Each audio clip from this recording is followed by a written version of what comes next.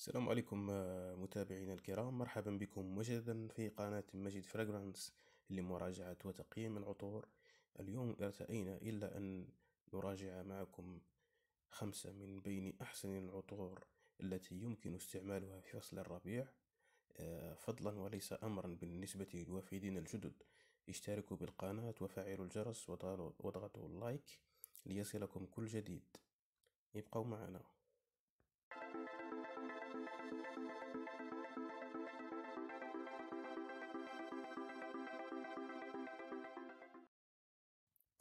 مرحبا بكم مجددا أصدقائي. آه، نحن على أبواب فصل الربيع وكما تعلمون فصل الربيع فصل جميل جدا ولهذا يجب أن نختار آه، أجمل أنواع العطور للتعطر بها في هذا الفصل. اليوم اخترت لكم باقة من أجمل العطور عبارة عن خمس عطور على حسب تقييمي أنا وهي كالتالي رقم خمسة عندنا عطر Lacoste Intense من لاكوست هذا العطر الذي أنتج في سنة 2018 هو عطر خشبي حار للرجال.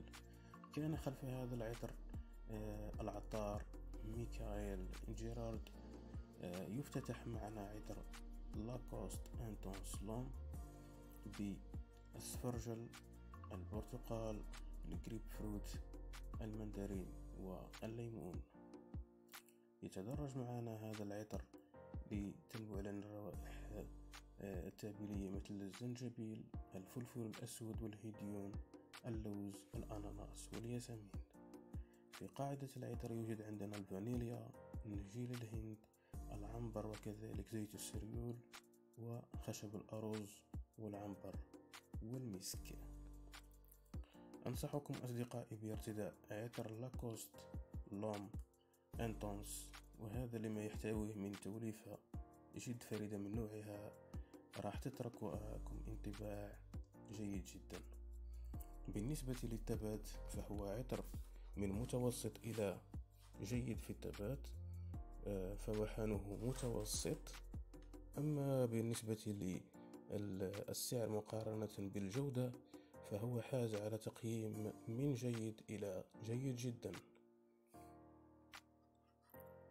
في المرتبة الرابعة اخترت لكم عطر Indigo Mr. Burberry من دار Burberry هذا العطر هو عطر خشبي aromatique للرجال أنتج في عام 2018 على يد Francis Kurkdjian.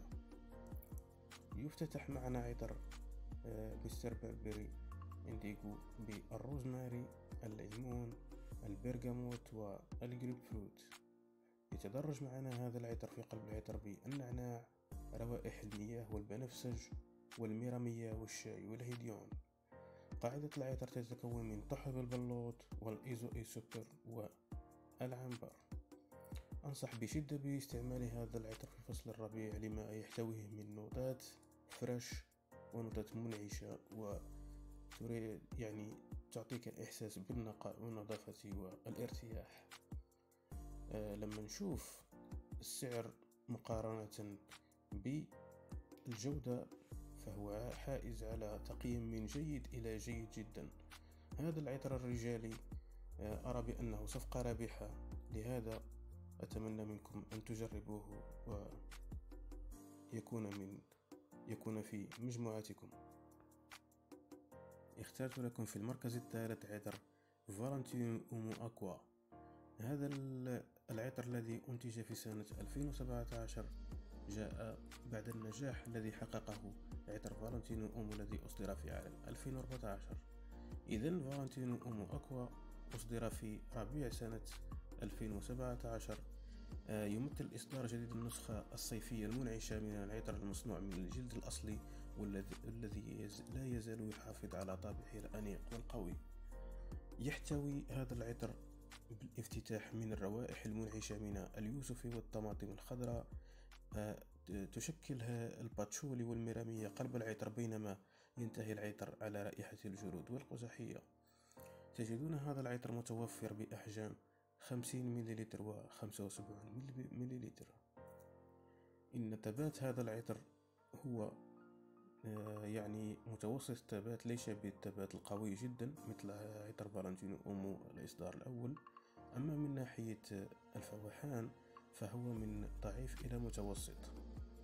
بالنسبة لسعره مقابل آه، جودة الخامات الموجودة فيه فهو مقبول نوعا ما. هذا العطر يستعمل إلا من طرف الرجال ولا يمكن استعماله من طرف النساء ويذكرنا كثيرا ال DNA الموجود في هذا العطر بإصدار Valentino Uomo الأصلي وإصدار Valentino Uomo Intense والخط العطري هذا من Valentino Uomo يذكرني كثيرا بعطر Dior Homme Eau for Men. من دار ديور وأيضا عطر العطر Very Valentino. من دار Valentino أيضا. ويذكرنا أيضا بعطر Dior Homme Sport سنة 2012 في المركز الثاني اخترت لكم عطر Moustache Original 1949 من دار Rochas. هذا العطر الكلاسيكي المظلوم إعلاميا هو عطر aromatique لل fougère للرجال وهو عطر أطلق في سنة 1949 ثم أعيدت صياغته في عام 2018 هذا العطر أنصح به بشدة لما يحتويه من مكونات فريش تليق جدا بفصل الربيع عندما ترشه سوف تحس بالنقاء والصفاء والسعادة وهذا لما يحتويه من نوتات جيدة جدا ونقية. إذا هذا العطر يفتتح معنا بالليمون والبرغموت. أما في قلب العطر يتدرج معنا إلى الأفندر زهر البرتقال والبنفسج. في قاعدة العطر عندنا المسك الأبيض والطحلب والباتشولي. عطر موستاش هو عطر ثابت نوعا ما أما فواحانه فهو من من من متوسط إلى فواح. عطر لا يستعمل إلا من طرف الرجال ولا يمكن استعماله من طرف النساء أبدا إلا أن عيبه الوحيد سعره مرتفع نوعا ما. عطر Moustache الأصلي يذكرني كثيرا بعطر Eau Sauvage Dior. فإذا من يحب عطر Eau Sauvage Dior فما عليه إلا أن يجرب عطر Moustache وكذلك يذكرني بعطر Yves Saint Laurent Pour Homme هذا العطر الكلاسيكي الجيد الغني عن التعريف وأيضا يذكرني بعطر Acqua di Parma Colonia.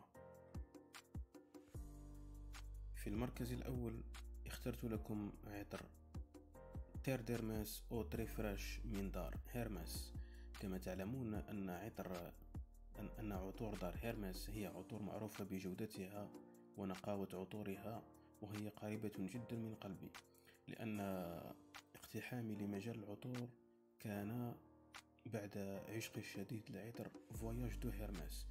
Voyage d'Hermès هو من بين العطور اللي مظلومة ومنسية إعلاميا ننصحكم أنكم إذا أتتكم الفرصة إلا أن تقوموا بتجربه لأنكم صحا سوف تكتشفون أنه عطر آه، يستحيل أن تقول عنه أنه عطر designer. يستحق أن تقول عنه أنه, أنه عطر niche. إذا آه، لكي لا يعني نطول في الكلام. خليني أحكي لكم على هذا العطر الذي اخترته لكم لاستعماله في فصل الربيع الذي هو عطر ال Terre d'Hermès Eau Très Fraîche آه هذا العطر هو عطر خشبي aromatique للرجال أطلق في عام 2014 يفتتح معنا هذا العطر بالروائح المنعشة من البرتقال البرتقال عفوا والحمضيات والروائح المائية. في قلب العطر عندنا إبرة الراوعي وفي قاعدة العطر عندنا خشب الأرز والباتشولي. مقارنة السعر بجودة العطر فهو عطر في متناول الجميع ليس بالعطر الغالي جدا. أما من ناحية الاستعمال فهو عطر رجالي بحت يستعمله الرجل الناضج الذي مثل ما يقول يعرف اللي عليه واللي ما عليه. آه كذلك من ناحية الفواحان فهو بعطر ليس بقوي الفوحان وإنما هو فوحان متوسط وثباته متوسط.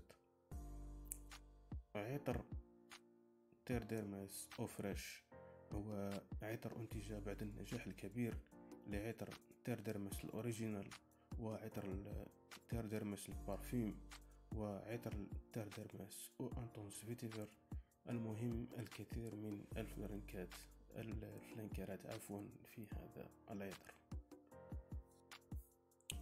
وفي الأخير ما بقى لي إلا أن أقول لكم شكرا عليكم على إصغائكم. إذا عجبكم المحتوى لا تنسوا بتفعيل الجرس وضغط زر, زر ال like.